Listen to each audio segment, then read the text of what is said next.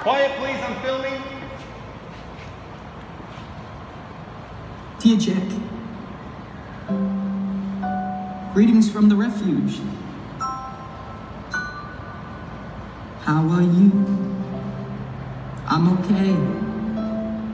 Guess I wasn't much help yesterday. Snyder soaked me real good with my crutch.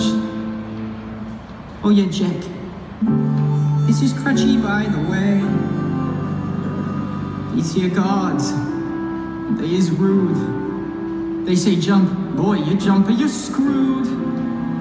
But the food ain't so badly so far. Cause so far they ain't brung us no food. Ah, ah. I miss the rooftop. Sleeping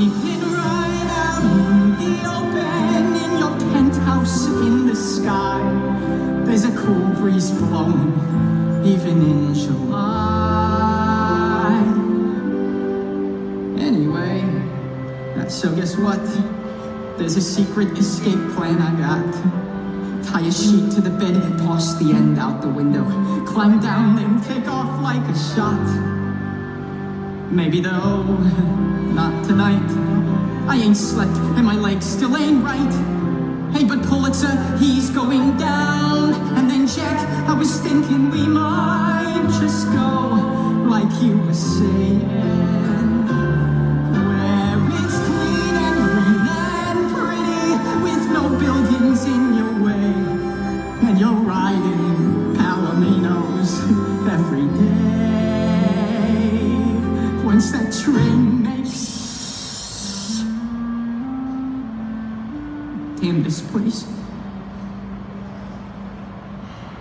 I'll be fine. I'm Good as new. But there's one thing I need you to do. On the rooftop, you said that a family looks out for each other.